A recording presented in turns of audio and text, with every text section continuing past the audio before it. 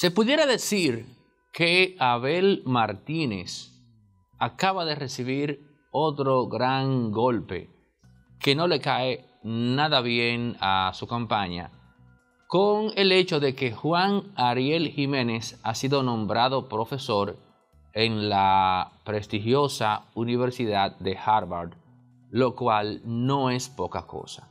Pero vamos primero con la noticia para entrar en la reflexión sobre este asunto que ya está comenzando a generar comentarios, análisis, reflexiones de cara a las elecciones del año 2024.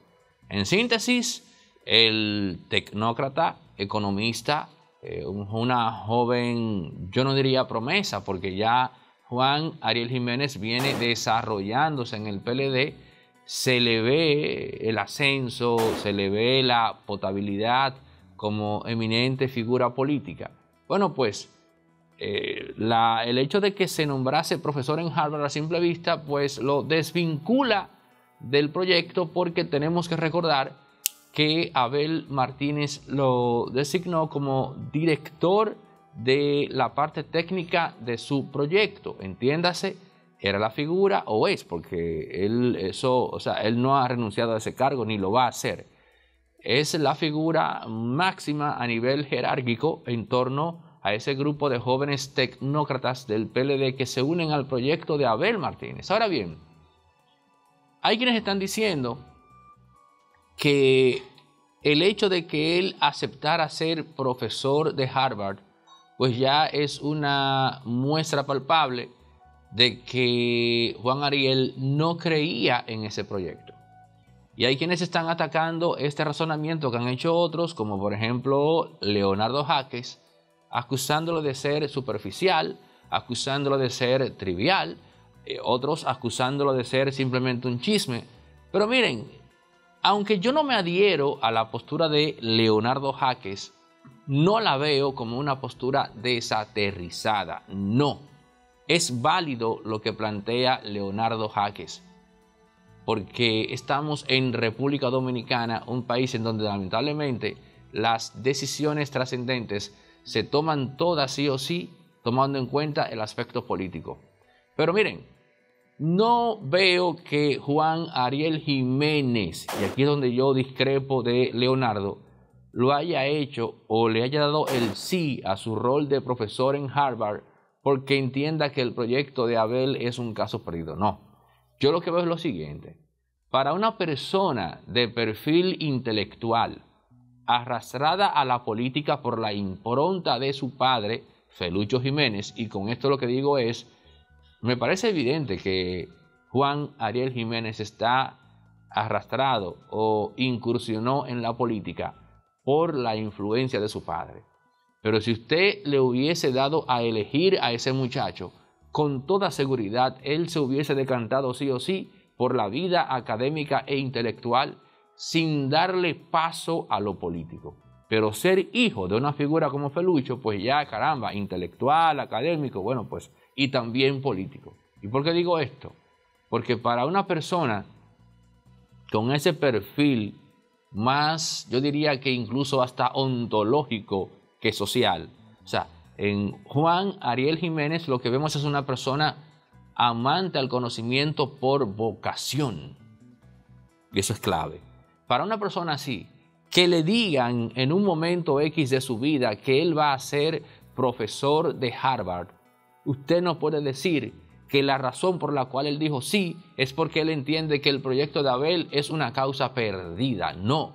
Ahí lo que se está dando es que una persona que ha corrido toda su existencia en pos del conocimiento, en el momento que le confirman que será profesor de uno de los centros académicos más importantes del mundo occidental, aquella oportunidad le es irresistible, porque aunque le van a pagar muy bien, lo cual no está de más, está un elemento que va por encima de eso, y es el reconocimiento para sí e incluso para el resto de la sociedad de que todos esos años de formación intelectual por fin han sido recompensados. Pero hay algo que tenemos que agregar. Todas aquellas personas que todo este tiempo han estado diciendo, afirmando que Juan Ariel Jiménez es un bluff y que, y que lo que tiene en todo sentido se lo debe a su padre, queriendo decir que no se ha fajado por nada, todas esas personas ahora tienen que callar. Porque no es verdad que Felucho Jiménez fue a cabildear y hacer lobby a Harvard para que le permitieran ingresar a ese muchacho como, como profesor. Claro que no. Eso se debe a mérito propio. Y de hecho, no está de más decir que es un logro para República Dominicana. Ahora bien, voy a la parte política. Eh, cerrando esta parte, en la cual digo, Juan Ariel Jiménez iba a decir sí o sí a su nominación o a su entrada a trabajar en Harvard como profesor, porque eso es algo que le place, es algo que, le es gratificante en cuanto a su vida, porque va directamente a la naturaleza de él como intelectual y académico.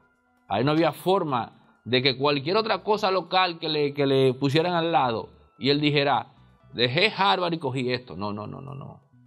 Yo creo que incluso imagínelo pensándolo dos veces a la hora de decirle sí a una nominación vicepresidencial de Abel. ¿Por qué? Porque lo nombraron profesor en Harvard y él quiere ser profesor en Harvard. Ahora, ¿dónde está el quid del asunto? En el juego de poder y a nivel político. Y esto es lo más importante. Y es con esto con lo que tenemos que quedarnos porque este es el dato revelador, lo que voy a compartir justo ahora. Él es profesor en Harvard y no se ha desvinculado de su rol en la campaña de Abel. Abel le dijo que seguirá trabajando y amigos cercanos a él, él le ha dicho, Juan Ariel, que ya él tiene cómo resolver eso y de cómo distribuir el tiempo entre su, entre su rol en la campaña y su rol como profesor en Harvard. ¿Dónde está el dato revelador? Aquí viene. Vamos más allá de la noticia. Vamos a lo que importa, a lo que vale.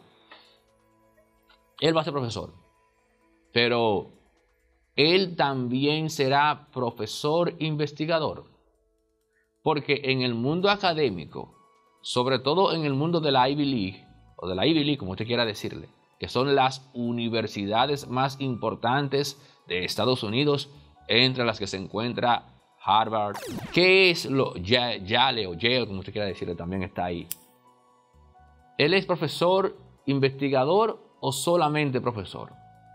Porque si él es profesor investigador, si a él se le contrató y en esas exigencias laborales está el tema de iniciar proyectos de investigación, que son los profesores que ganan mucho más dinero, bueno, pues ahí no hay forma humana en la cual Juan Ariel Jiménez pueda dedicarle un solo segundo a Abel Martínez.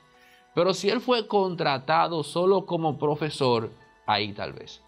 Ese es el dato que lo explica todo. Juan Ariel, tú vas a ser profesor y ya, vas a impartir docencia. O tú vas a impartir docencia y también vas a dirigir un equipo de investigación que le rinda algún resultado en términos de producción de conocimiento a esa universidad. Ese dato él no lo ha dado. Pero yo le digo a usted que si en algún punto él revela que él será profesor e investigador, olvídese que ahí no hay forma humana en la cual él pueda dedicarle tiempo al proyecto de Abel Martínez. Ahora, si es solamente profesor, bueno, tendrá una agenda complicada, pero sí tendrá tiempo. Pero ya en la parte final, eh, felicitar a Juan Ariel Jiménez. No es una persona con la cual políticamente yo comulgue, porque él es un joven de fuste progresista. Ustedes ya saben que yo no voy ni a la esquina con el progresismo. Ahora bien, eso no quita que yo reconozca el talento intelectual de este muchacho que brilla con luz propia y que tenemos un profesor dominicano en la, en la archiconocida y prestigiosa Universidad de Harvard. Pero eso que acabo de decir es el dato revelador. Profesor, investigador o solamente docente. He ahí la cuestión de lo que tiene que saber Abel Martínez para saber qué puede esperar en lo adelante de Juan Ariel Jiménez.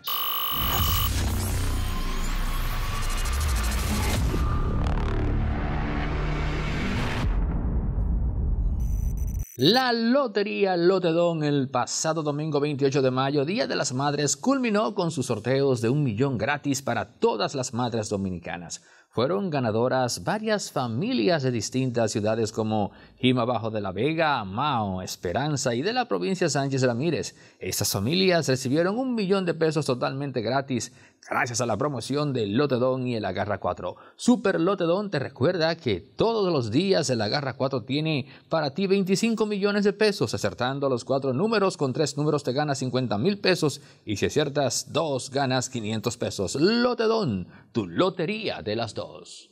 Les tengo una muy buena noticia de Farmacia Medicar GBC. Ya tienen su app.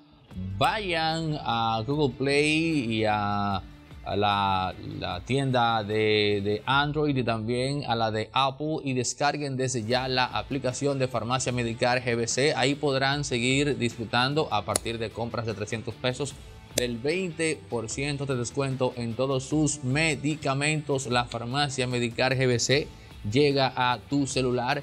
Descarga la app y pide tus medicamentos a través de ella. Farmacia Medical GBC, la de nosotros los dominicanos. Luisín Jiménez, un comentario que hizo en sus redes sociales que de manera inevitable nos lleva una vez más a su enfrentamiento con Alofoque Santiago Matías.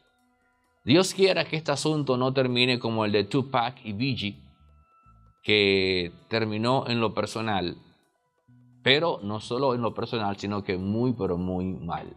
Y él habla en ese post de Mike Tyson, de cómo éste dilapidó más de 400 millones de dólares en una época de su vida en la cual él no era feliz. Y que ahora apenas tiene una fortuna de 10 millones de dólares y que vive bastante bien. Este post yo lo vinculo directamente con el post revelador de Santiago Matías en el cual él habla de un Maybach que él tiene un Maybach que él tiene cogiendo, un Mercedes Maybach que él tiene cogiendo polvo. Entonces, yo diría que tú hablar de un Maybach cogiendo polvo no es un asunto que revele que tienes un buen manejo financiero. Si tienes un Maybach, un Mercedes Maybach, caramba, algún tipo de uso hay que darle. Pero también va de la mano con el sentido de la eficiencia. Recursos invertidos en cosas que son productivas. Ahora, reconozco que yo no soy quien para decirle absolutamente a nadie cómo debe manejar su dinero. Eso lo tengo claro. Ahora bien, Luisín Jiménez no desaprovecha las oportunidades para echarle vainas a los foques en lo que él entiende que son pifias, deslices. Y si hay algo que usted puede aprender de este enfrentamiento, es a leerlos a ambos y quedarse con lo que usted entienda que le, que le es edificante. Naturalmente, hay que decir que el hecho de que usted decida con qué se va a quedar va de la mano con su formación social.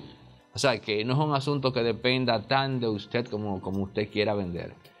Debo decir que en muchos casos eh, me funcionan más los planteamientos de Luisín y en algunos casos admiro la fuerza de voluntad de Santiago Matías a los Ahora, hay que decir que Luisín Jiménez cometió un error cuando usó la palabra chopo eh, de cara al tema de Alofoque, porque ya ahí le da una connotación social despectiva, discriminatoria a una persona que dentro de poco se va a lanzar como candidato alcalde de Santo Domingo Este, en donde tenemos una gran población que bien perfectamente puede encajar en el perfil del Chopo.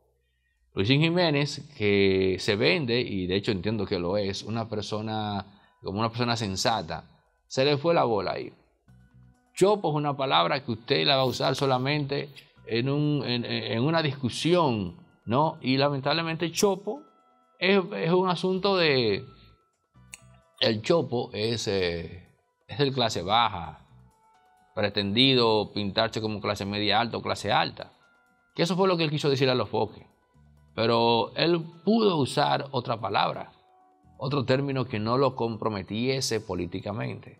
Ahora, la expresión la rebelión de los chopos. Para que sea una rebelión tienen que ser muchos. Está hablando entonces de que los chopos son muchos. Yo sé que en el momento que él planteó eso, Luisín Jiménez no se sentó a pensar en nada. Eh, nada de eso, no, pero el uso de la palabra chopo es como, incluso pudiera vender a Luisín Jiménez como una persona que es clasista, como una persona que desprecia al pobre. Ojo con eso. Dije en una ocasión, cuando a los pocos tenga la razón lo diré, y cuando la tenga Luisín también. En este caso lo que tenemos es un error. Un error de Luisín Jiménez en el uso de la palabra chopo al referirse a los Foques como el máximo regente de una rebelión de esos que son los llamados chopos.